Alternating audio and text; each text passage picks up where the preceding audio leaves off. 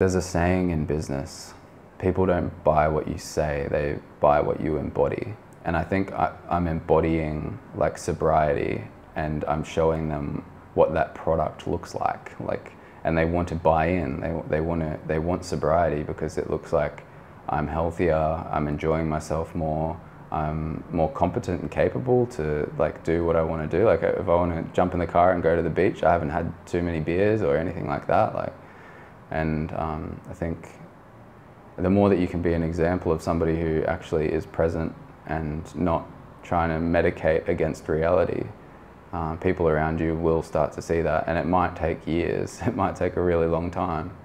Because also, it takes time just for yourself to buy into it.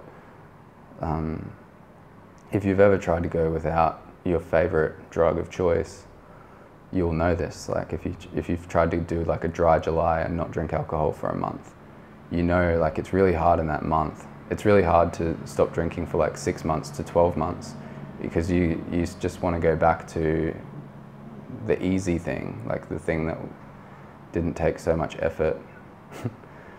um, so yeah, it it takes time for other people to see the results but it's because it takes time for the results to show up. Like it takes time for even yourself to feel it, to feel as, as, as a significant change.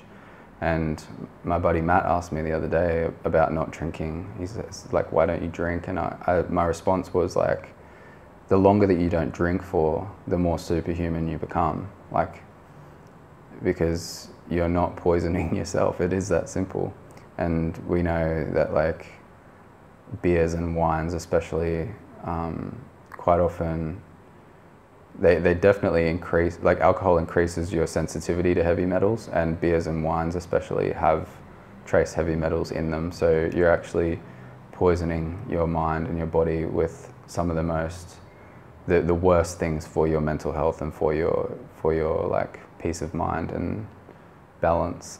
Um, so yeah, alcohol is like way more of a poison than people even begin to realize. And you, and it's another thing that you don't want to look at because you're medicated. it's like that's that's the that's the journey that I've gone on because I've actually been um, in reality and dealing with the issues and not like just trying to avoid them. One way that I try not to avoid them is by like not taking drugs and alcohol. But like there's so much more to it than that once you actually stop avoiding.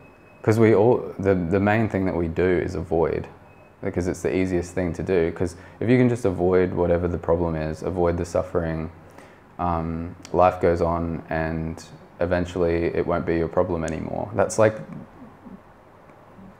the mentality of people on earth right now. Like,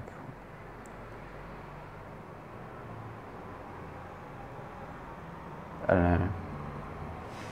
What I need to do is make some phone calls and find out what kinds of mental health positions are available in my community and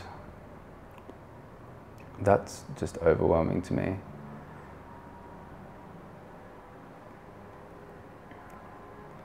And that's like, I'm like relearning how to be a person all over again over these past few years because I used to just use prescription drugs and alcohol for everything. Like if I if I felt like this, which I never would because I'd always be medicated already. but like if I was like, oh, I've got to make some phone calls and I have resistance to it and I have all this anxiety, I'd just take a painkiller. And then I'd be like all fluffy and floaty and call a bunch of people and be really pleasant and like just sound like I've got my shit together and then like whatever has to happen would happen. And it's just you can understand from that description like why I'm like, why am I doing this? Like why am I staying sober? Like why am I staying present? Like, well, everybody else is just cruising through life on all these like amazing pharmaceuticals and everything that's available. Like, is it actually, is it actually worthwhile to stay sober? Like, is it actually worthwhile to, to be present and do all these things? Because it's actually making my life a million times harder like when I look at it through this lens, I'm just like, life has been really, really hard while I've been sober, and it's annoying.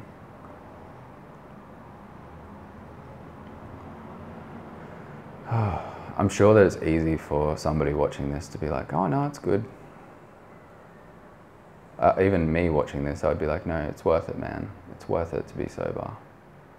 Because, like, it sucks in the present moment. It's harder in the present moment, but you're actually, you, you don't even realize how much more you're getting done because you aren't programming yourself to avoid. That's, that's the big thing. It's like the more you used external substances to manage your state, the more you're programming yourself to depend on those things, and the more you're programming yourself to avoid feeling your feelings, to avoid thinking your thoughts, to avoid knowing what you know.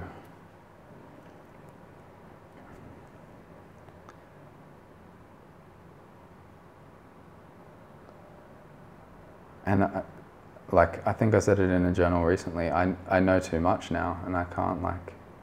There's no way that I could like go back in and just like. Hmm. It would uh, it would feel so silly to like just start drinking again and I don't even know. I can't even picture it. I can't even imagine what I would do, like how I would escape reality properly. Like, it seems like there is no escape. It seems like it just, it just it's so glaringly obvious now.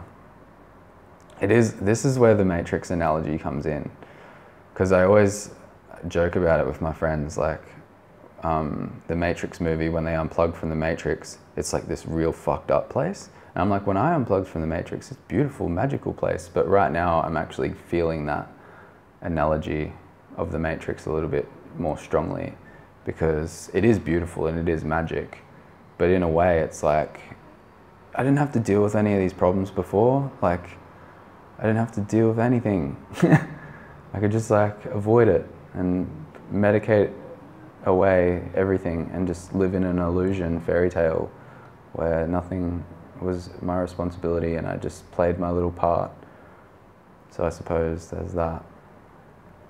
But for the most part, I'm happy and I, I still think it's magical. It's just a particular perspective that I'm wearing today because I'm feeling a little bit like worn out and tired and I just want to